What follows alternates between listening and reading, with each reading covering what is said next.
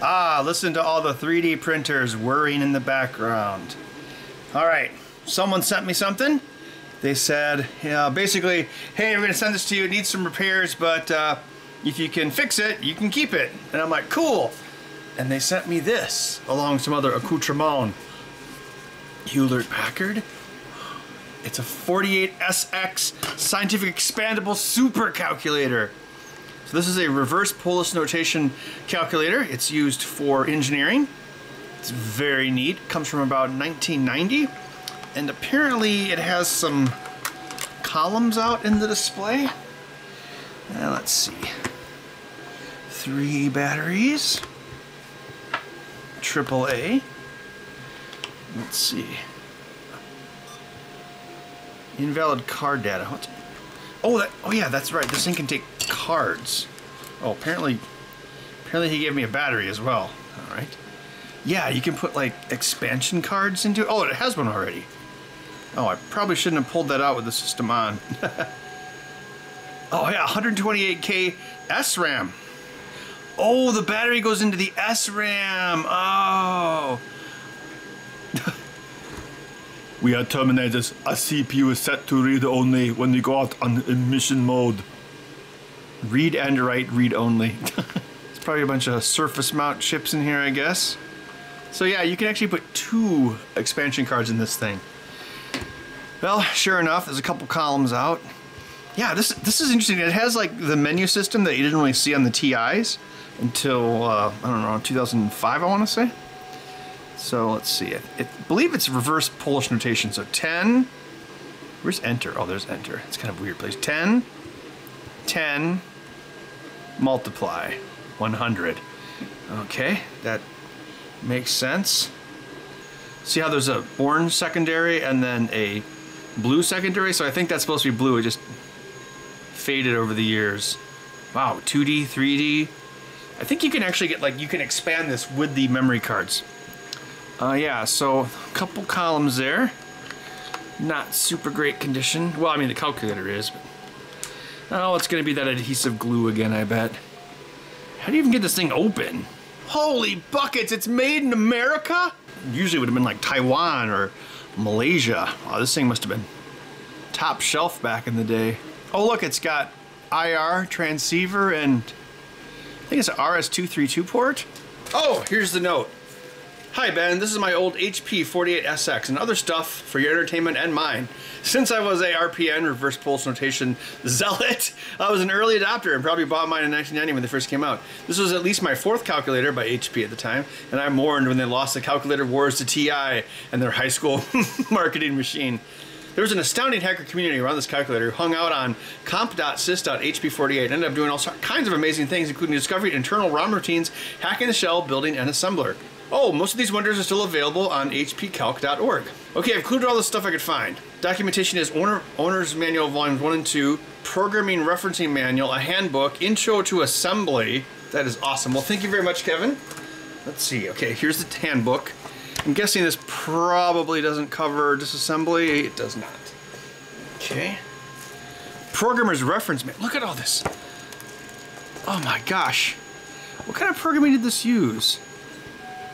Uh, oh look, you can send away for more. Uh, there's a, a distinct smell to it. I think there's a couple different ways to program this. Like they have their own kind of like basic style. And then of course assembly. Apparently this thing uses a 64-bit processor that divides it into 4-bit nibbles or something weird like that. I was looking it up online. Oh, oh, I know what the smell is now. This this is a kitchen a kitchen garbage bag which would probably have yeah, it has like some deodorizing aspects to it. Okay, that's why that smell was strangely familiar. The first thing I thought was cat litter. Oh my gosh. Holy. Okay, volume one of the owner's manual. RAM and EEPROM cards. Okay, that was that thing I pulled out. oh, this must have been for like a BBS back in the day. Smart keys. Uh, yeah, so you know you might use these if you were, or use this calculator if you're like a civil engineer, and you're like, oh, I have to calculate how much cement goes into that dam or something like that. okay, R oh reverse RPL RPL end assembly language programming. Oh, there's a. Oh, is this another card? What is this? It's a disc. You don't get documentation like this anymore. Oh, this talks about the internals. Okay. I wonder if it tells us how to take it apart. And I'm guessing this is volume two? Yes. Standard free fall acceleration. Gram mass, US gallon, Canadian gallon. Wow. Oh, it's it's uh, it's alphabetical. Square footage, survey foot length. Yeah, so you could use this thing in all sorts of industries. I bet this thing was a pretty penny back in the day. Pretty penny in 1990 dollars, which would be a lot of pretty pennies. Well, good news. I found a document on hpcalc.org that tells you how to take this apart, and apparently it's rather complicated. I guess what they used to do is they'd remove the tin. Wait, is it actually tin? I guess it is. They'd remove the tin uh, faceplate, but apparently there's another way to do it. Oh my gosh, there's oh, it's held together by plastic rivets. That's awfully strange. I mean, this is like, yeah. Wonder why they did that. I guess maybe to have like a nice clean look. So there's no point in digging under here because there's no uh, plastic rivets. And of course, the documentation is from the 90s and it's all done with ASCII art because why wouldn't it be? So apparently what it wants us to do is make some ingress slits here. I don't know why I've been using the word ingress and egress a lot lately. Oh no, I'm having X-Acto knife flashbacks. Eighth of an inch, aka three millimeters. This is the least, apparently this is the least destructive way to do it. Huh, maybe, oh, HP probably didn't want you to see the secret sauce. Okay, now I'm supposed to drill a line of holes. I'm gonna use a 1.5 millimeter bit. Okay, that went into the air. Guess that's good. Air. Air. To air is human. Of course, that'd be spelled differently air, not my thumb. So I was uh, helping this guy make a play, a custom pinball playfield last week. He has a homebrew game based off Cuphead. Uh, and uh, he's, or well, he's retired, but uh, he was an anesthesiologist. And so um, I was talking to him, and I mentioned how my luck had run out with X-Acto knife blades. And so he's like, oh, well, there's a certain nerve, blah, blah, blah. As long as you didn't cut that, you should be okay. And I'm like, oh, all right. He's like, well, do you have feeling in the tip of your thumb? I'm like, yeah. He's like, oh, you're good then. Yeah. He also said the scar tissue should heal eventually because right now it is a bit stiff. You can see the PCB. Oh, there's even more vibration now because there's two 3D printers running. PCB's right there. So apparently long as we cut away from the PCB, we should be good. Apparently there's like some plastic rivets we need to sever, just like my nerve that didn't get severed. Or, or Black Widow. I'm gonna break my nose. Ah, come on. There we go. Hey, remember that time I had to gash holes inside of a TI calculator to take it apart? Me neither. Okay, so I'm feeling inside. It feels like something. Okay, I think I just cut the rivet. That's the same blade I cut my thumb open with. Okay, apparently I should be able to slightly pry it open now. Eh, a little bit. So what was the idea? Like people would get tired of trying to reverse engineer calculators, give up? Those are the rivets? What? Really? Yeah, the little plastic rivets. How much did this calculator cost, HP? Hmm? Seriously? Oh my gosh, what would Louis Rossmann have to say about this? Hey everybody, Today we're going to talk about right to repair. This has been going on for a long time now. Yeah, the HP calculator, back in 1990, and it was very difficult to repair. Also, New York City is dead. This seems incredibly destructive. I mean, what were they thinking? There, but for the grace of God, go I. Ah.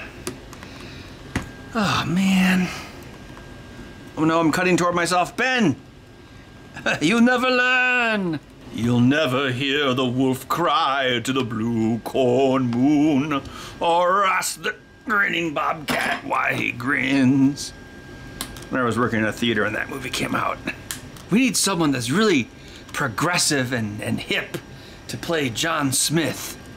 I know, Mel Gibson. I mean, you've got this nice case and it says, made in USA. You never see that anymore. Then you have to destroy it. This, this case is like, will I be able to play piano after this surgery? Of course. Oh, good, because I couldn't before. Doesn't appear to have loosened up much. Apparently there's another one over there. Oh, man, I can't use my Dremel on that. Or I could even like remove the entire thing and re 3D print a new piece. Man, why did they do it like this? I do own a plastic spudger kit. I just don't know where it is at the moment. Why is it so difficult? Oh, the circuit board's attached to the front? Why? I can picture the scene. Steve Jobs is like, I want the iPad to be as unuser fixable as possible.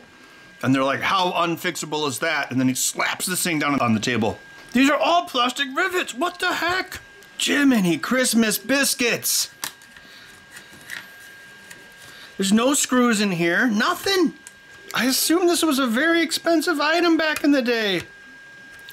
And this is how it comes apart. How did they service this at HP? Maybe they didn't service it. They just threw it into a bin and then ah, sent you another one. It was snapped together. Oh my gravy. Yeah, look at all these stupid little plastic rivets everywhere.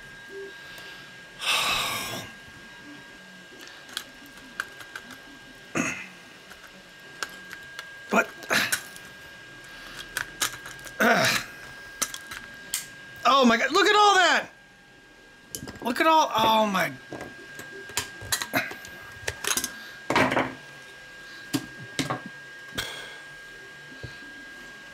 Oh, main CPU must be under here.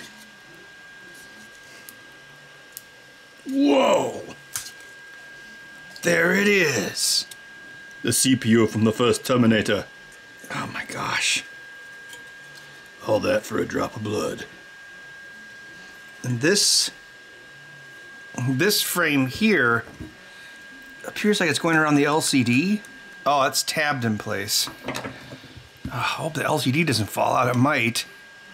You know, at this point, I don't know. I,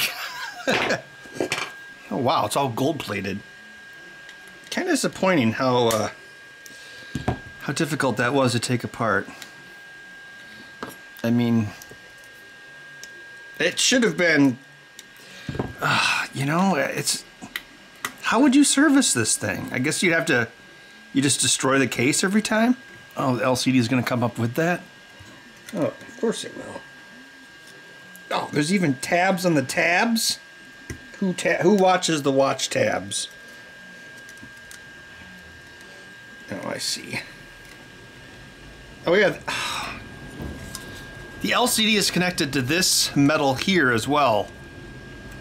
And then that also compresses the LCD against well, it's using the contact pad, so it's not, the failure is not being caused for the same reason that a TI would fail, which would be um, glue failing. It's weird how the, the, these expansion cards are angled out slightly. Look where the negative terminal of the battery was connected to. The can! Look at that! They put a bend in the can for the terminal.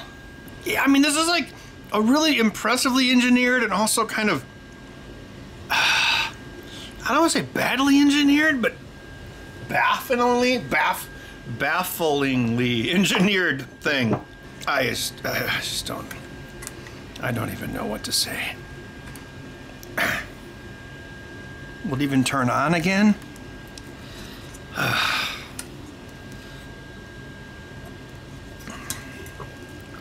was a keyboard matrix. Excuse me. Jeez. You know, this is really weird. They have these um, crosshatch, pat crosshatch patterns for the keys, but you don't usually see this in a silkscreen circuit. Usually you have two layers of silkscreen, and then it's separated with. Well, I guess they do have a few separations here. Uh, yeah, it's just very strange. What connects to the on button?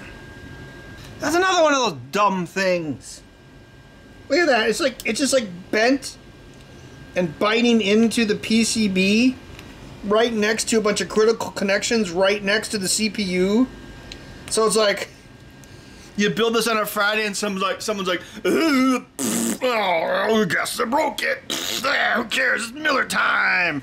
I'm Union Union Calculator Man.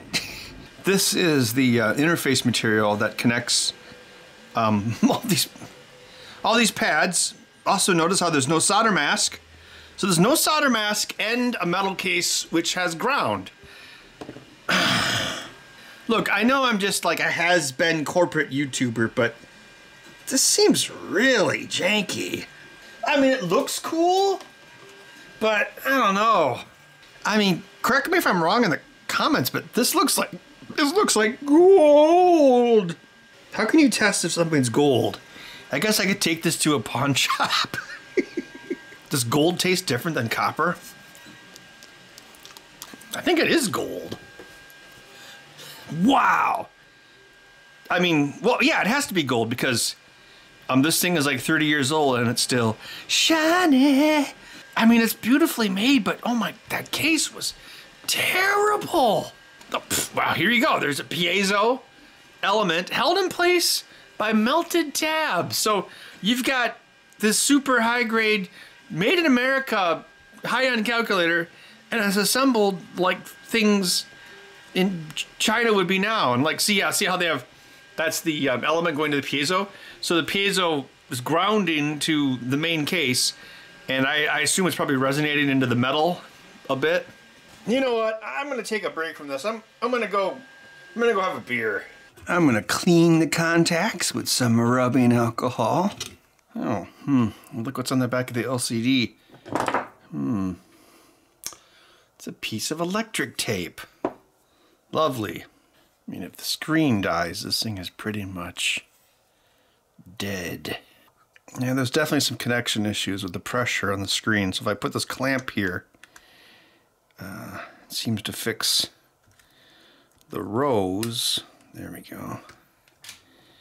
And then we're missing some compression up here. That fixes everything but those three columns. Okay, what's causing these three on the left to fail? Squish it really tight. Squish that cat! Just squish that cat! There is a little bit of a gap here. I mean, it's on the other side as well. See that? Kind of comes up a little bit. I wonder. You're talking about how back in the eight, uh, not the 80s, the 90s, like angels were a big thing. I think George Carlin had a stand-up bit about that too. It's like, what's with angels everywhere? Why isn't it some other mythical creature like goblins? And so then we started thinking, well, what if all these classic songs, all this, we're basically thinking of any song that talked about angels, what if it was talking about goblins instead. And it's pretty funny. It's like, my blood runs cold. The goblin is a centerfold. Or, Goblin of Harlem. You're my goblin. Come and save me tonight. City of, what was it? City of Angels. That was a movie, right? That was one with what's her face, uh, Meg Ryan, and Nicolas Cage. Wasn't like Nicolas Cage like he was an angel. He's like, I'm an angel. Apparently, his new movie about a pig is supposed to be really good. I kind of wonder, like, is it John Wick with a pig? The movie I really enjoyed. Um, uh, Nobody with uh, Bob Odenkirk which was also like I think it's from the same people who made John Wick. Just call me Goblin of the Morning. that seems to have made it worse. When I'm lying in my bed, thoughts running through my head, and I think that love is dead. I'm loving goblins instead. See how dumb it sounds? Nice hat. Are you trying to look like a secret agent? See, nobody cares. I mean, it's actually kind of lame. Like the compression, the compression that connects the membrane to the screen is controlled entirely by these tabs. Like, see how the middle has some rows missing? So if I take this tab and I rotate it, that creates compression against the screen, and now it's fixed. oh my gosh. Again, like in the TI, the screen is like its own separate module. This one's being uh, directly driven by the main CPU. Oh, by the way, I've got some spotted cow tonight. Maybe this is, issue isn't with the membrane. Maybe it's with um, what's actually connecting to the screen. I'm sorry, connecting to the chip. Uh, let's see where we got. This is just adhesive. Oh, those are both the same. I'm guessing those are um, actually, it's probably a LCD driver. Probably was in built-in RAM. Uh, yeah. Here's something else. If I bend those tabs too many times, they're gonna break. Oh, what about that one song? How do you talk to a goblin? How do you hold it close to where you are? Do do do do. How do you talk to a goblin? It's like trying to catch a falling star. All right, looks like the offending pins are here and then they connect right here. Now obviously I'm not going to be able to fix where they bond to the chip, but I might be able to fix that. Maybe? uh, that is so weird. OHP. You move in mysterious ways. How much flux are you going to use, Ben? Well, the bigger the blob, the better the job. I'm using I'm using the camera like a mirror. I'm holding the screen up to the lens so I can look at the viewfinder and see if I can change anything on the screen. I'm looking for those missing columns. Yeah, bud, I know you're you're like, please play with me. I am a kitten. Meow meow. Okay, that's vertical. All right, I looked it up. I looked it up. These are actually the LCD controller chips. There's two of them, one half per screen. So I removed one, and the screen's a little bit warm, uh, but that's okay. It'll cool off. I could probably stick it in the fridge. I gotta get another beer anyway. Oh yeah, a couple minutes in the freezer, fixed it right up. Oh, see how see how touching it with my finger? Look at that. Isn't that cool? Oh, look. See how they're staggered left and right? See that? I'm sorry, it's bit uh, stripe pattern. Interesting. But there's still a gap. Oh, that was too much. Can I get it all solid black? No colors anymore. I want them to turn black. okay, I'm coming back after about a month of working on this project. I put the chip back in place, made sure everything was soldered correctly, and we're right back where we started. So I'm thinking the problem has to be with the, oh, I looked up the name for it, the elastomeric, was it elasto? Elasto, elastomeric connector. That's the rubber connector between the uh, PCB and the screen. That's gotta be why those segments are missing. Oh, no matter what I try, I can't get those three columns to work. Maybe it's something in the glass itself. You know, I mean, I've tried pretty much everything else. Yeah, see, like right there. I think I'm just going to have to call it on that HP calculator. I cannot for the life of me get those three columns to work. And it was a right to repair nightmare taking that thing apart. I mean, yeah, that seems like something more like from the modern day than what, 31 years ago? Oh my gosh, 1990 was 31 years ago. Here's something else from 1990, the venerable TI-81, their first graphing calculator, which came before the TI-80. I guess TI was using the Microsoft School of Numbering. What is it? Uh, 1, 2, 3, 95, 98, 2000, XP Vista 7, 8, 10, 11. What they say, what people on the internet say is they couldn't do Windows 9 because there's so much old software that looks for like Windows 9X being Windows 9 D5 or 98 and it would have caused an issue. It was probably some other dumb reason like, oh no, this number is considered cursed in some cultures or when they name products, they actually they totally take that into account. All right, so a couple screws. Looks like it mostly tabs open. Eh. You know, I don't know if I've have I taken this apart before. I th thought I took all these apart on videos. I can't remember. Time is so nebulous these days. You know, I don't know if I ever took this one apart. Well, we got some. This is battery acid, you slime. Yeah, that's right. oh man, we we uh, my sister and I we taped that off ABC back. I, th I, think that came out in 1990 as well. When did the TV miniseries It come out? According to an Alexa Answers contributor, Stephen King's It was initially released on November 18th, 1990. I was right. Question? Yes. Jonathan Frakes was in it. He was one of the characters, as was uh, the uh, judge from Night Court. All right, well, what was that? Three screws, and then you just pry it open with a screwdriver. Not too bad. Uh, for 1990, having tabs on a case was actually kind of uncommon. So that is a bit of a janky future thing.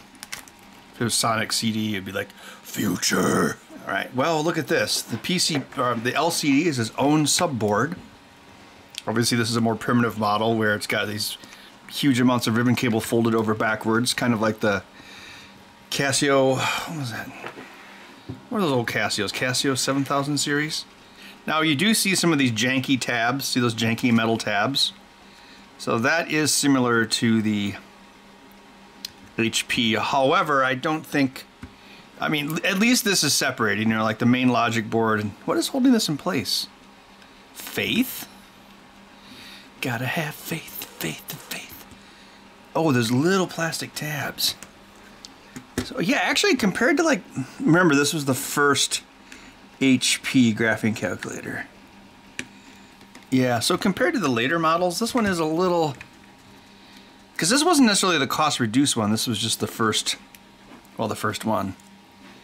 Yeah, so this is much larger LCD subassembly than any of the subsequent. As a Pepsi. Pepsis and beers sound completely different.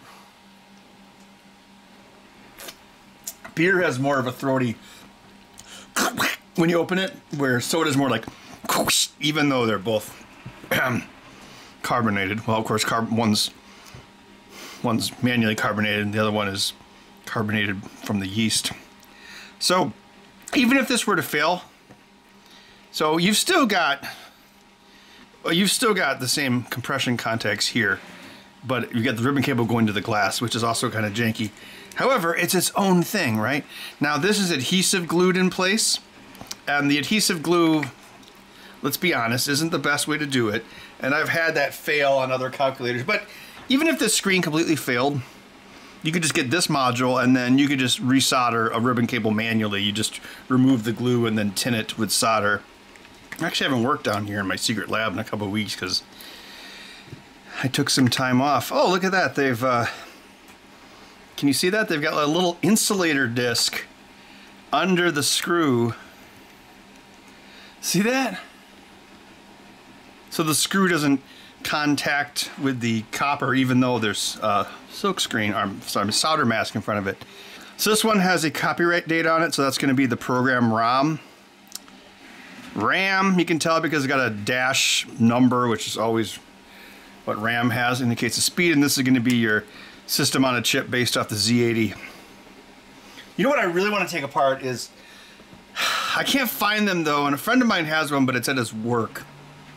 Is a TI-84 plus CE Python, which is the, their latest calculator. Apparently Adafruit made Python for it, but according to the internet, the implication or implications, the implications of the Python, the implementation of the Python uh, was done with a coprocessor using an Atmel uh, SAM D21, one of those, which kind of triggers me because that's the same chip we're using on our new pinball controller, and I'm like, is TI the one buying up all these chips in these unprecedented times? We've we've done okay so far. We've been buying it in bulk, but. Uh, yeah, well, anyway, so apparently that new calculator, it has a EZ80 Acclaim, which is a modern version of the Z80. It's basically a microcontroller, but it has a Z80 core, so I think they do that so they can run their ancient code still, because the new chip still is a Z80, just a very, very advanced one. But anyway, for the Python stuff, I guess apparently it runs on a separate processor, which pipes all the data to and fro with the SPI bus, which makes it very slow. And if it's a SAM D21, that's 16 or 32K RAM. Program space is 128 or 256. Because if you look, if you go on like Adafruit and you look at like one of their uh, Circuit Python boards, it's almost always based off the uh, D51, which is uh, that's a Cortex M4 instead of an M0. It's got way more RAM and program space. So yeah, not only is TI using up those chips, but it's probably a pretty poor version of Python. Well, again, this is an improvement. We have silicon contact domes with carbonized bottoms. You know, this is the normal way every other circuit was. That HP calculator, I've never seen a handheld unit from the 80s that used a silk screen uh, keyboard array. I mean, that's how they make keyboards now, right? I mean, this is how everything would have been back in the day. This is super common. And yeah, you got these nice rubber buttons, and it's just nice. It says this was super easy to take apart, super easy to put back together, completely non-destructive as long as you're not too rough with the tabs. And how much would this have cost back then? $115? Oh yeah, so easy to put back together. So hey, you know what? Maybe maybe HP was just like you know what? I'm sure HP would have liked a crack at TI's lucrative monopoly lucrative monopoly, that's kind of redundant, on TI's lucrative monopoly of the educational calculator uh, market. But hey, you know what? Even though these calculators are way overpriced, these I mean, at least I was able to take it apart and potentially fix it. So yeah, I guess that's uh, kind of the end of the video. I was hoping to fix that calculator. Because I mean, it's an amazing calculator, the HP, I mean, but uh, it's the repairability on it was awful. I guess my point was, you know, when it, when it switched from being a repair video to a right to repair example video, making non-surfaceable devices isn't necessarily a new phenomenon. I just wanted to show you an example from 30 years in the past. But I mean, that same thing, much like a Tesla or a John Deere tractor or um, an, an Apple product nowadays, that, that HP was a very high-end expensive calculator and yet it was infinitesimally harder to service than one of these relatively cheap calculators. So, you know, it's something important to think about, like being able to fix stuff. And especially, you know, I think I told this to Louis as well, but if you want to fight for it, the way you got to go is you got to push the green. Because all these companies are trying to be green. Green, green, green, green, green. So there's nothing green about wasting materials. So I think that's where you hit them. Right to repair is green. Just throw away one little part instead of the whole thing. Hey, uh, this other package arrived today. I thought I'd just take a quick look at it. Hey Ben, this is my old Microsoft band that may be interesting to do a teardown on and see if it's possible to do any hacks with it. Microsoft has discontinued the product itself. Microsoft discontinued the product, I can't believe it. And no longer offers the app needed to set it up, so it may be functionally useless. At the very least, hopefully we can salvage some parts. J. P.S. Say hi to Bud. Oh, oh, it's one of these things. I think you use these if you do, what's it called? Exercise? I don't know, some You know, I've got something else to say about right to repair. Well, it's somewhat indirectly or tangentially related. Um, so they're like, hey, let's let's fill these cars with integrated circuits because they're cheap. And also, then we can tie it intellectual property, aka code, to certain components and make it harder for people to fix stuff, which is another thing I mentioned on that Louis Rossmann talk. Like you're like, oh, well, you know, you could you could buy this, you know, this uh, motor that lowers and raises the window of your Tesla, but you know, we're going to get the code, the proprietary code. So if you were to get that code and put it onto a microcontroller, you know, if they wanted to be real dicks about it, they could say, oh, you have stolen our code, or you're using our code without permission, or you've decompiled it, or you've cross-compiled it, or you've reverse engineered it, and that makes it, you know, that could make it difficult for a, a third party to repair it. Why are there screws there? Oh, does it store the battery in the band? That would be smart. I've always wondered why phones don't do that. Or, not phones. Watches. It does! Oh, that's pretty smart. That uh, watch project that I was working on, which I need to finish. Well, I gotta get caught up. I'm way behind. Two weeks off. Got way behind on pay projects. But anyway, my watch project, I was planning to do the same thing. Like, put the LiPo in the band uh, so the watch could be thinner. So I think that kind of sucks with most smartwatches. The thing that the thing that adds the most thickness is usually the battery, and then to some extent, often the uh, vibrator or the rumble motor. Oh, anyway, back to the car thing. So it's like, oh yes, let's let's just fill the car with microcontrollers. Every tire has an air pressure sensor on it and a wireless transmitter, and we'd also probably have a microcontroller of some kind, and that's like that's required by the government now, thanks to all those whatever Ford it was that rolled over. And now look at today, unprecedented times. And what's the thing that you can't get enough of? Satisfaction? No, microcontrollers. Oh, well, well, speak of the devil, there's the rumble motor right there in the band. Microsoft, you're speaking my language. I think Microsoft does interesting things with hardware. I actually have a first model Surface Book. It was really glitchy when I first got it, but after a few updates, it's pretty solid. Oh, I see what they did. Oh, there's a flex. Okay, there's gonna be a flex PCB going along the whole thing. Yeah, the battery's got a little, a little, little pounchiness to it, but I think it should be okay.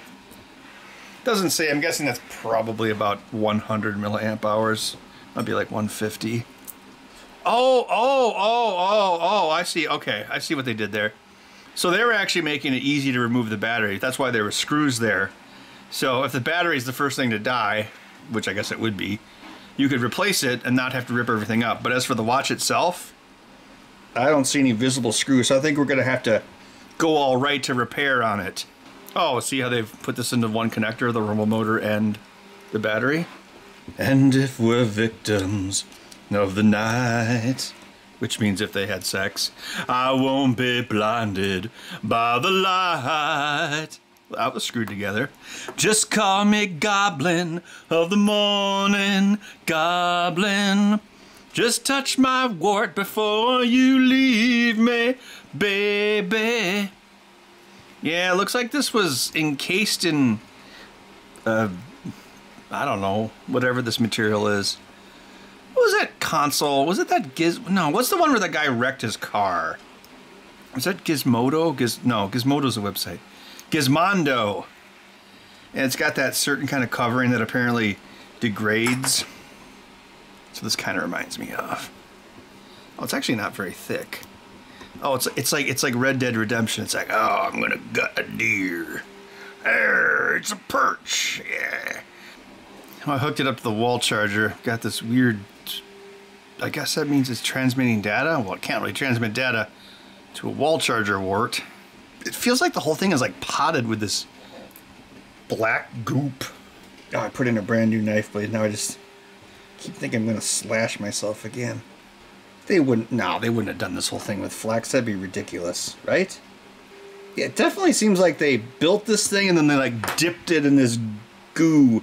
Oh, you remember reminds me of is that stuff where you like buy it and then you dip your tool handles in it, and then it like puts like yellow on your tool handles. What's that called? Plast oh Plastidip, yeah. It's kind of what it reminds me of.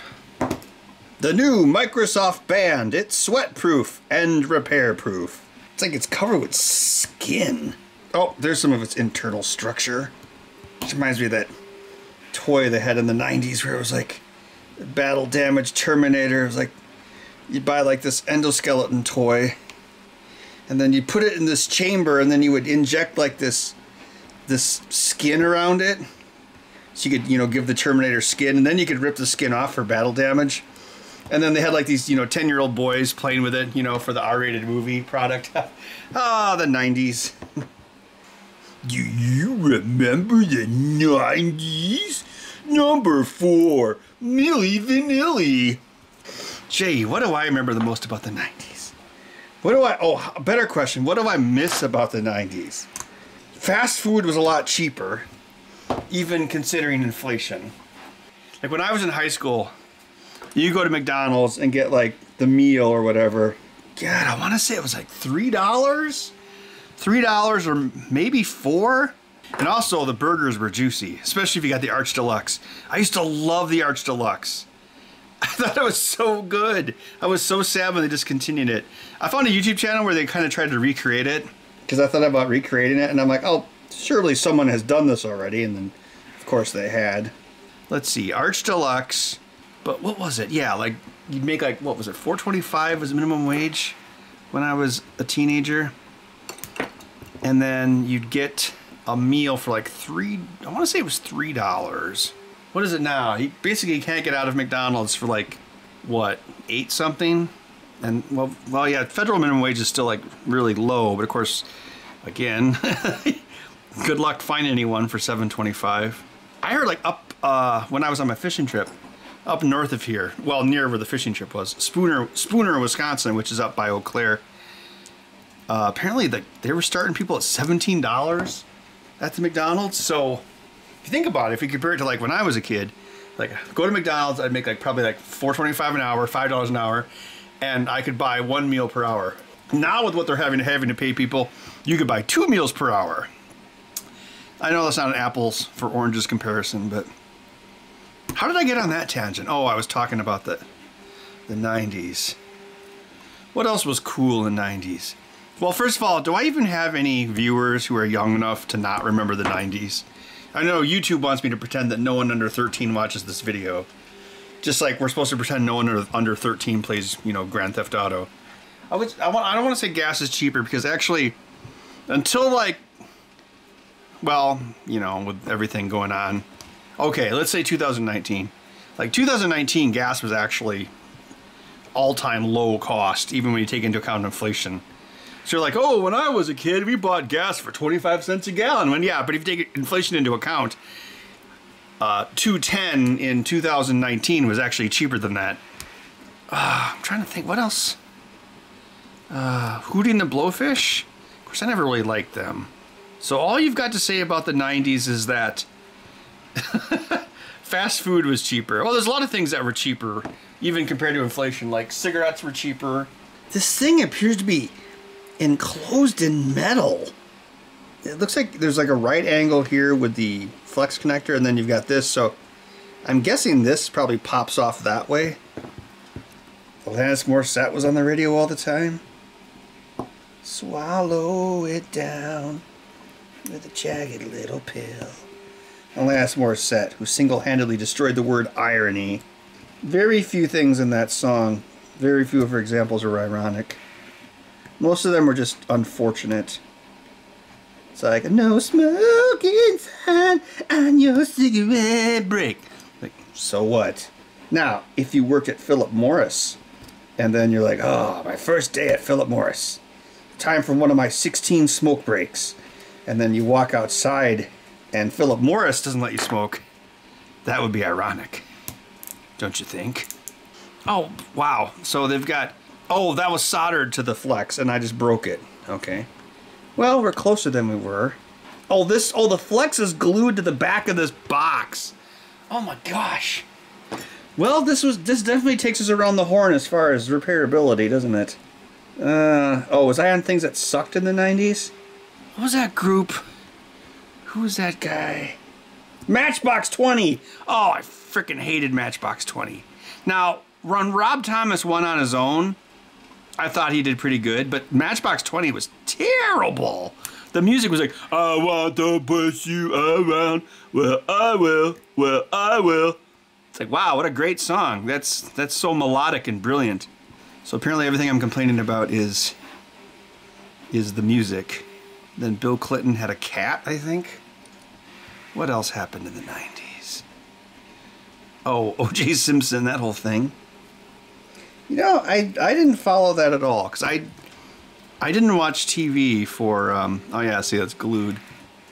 I actually didn't watch TV for probably about ten years of my life. Like basically, after I graduated high school until I until I was about thirty.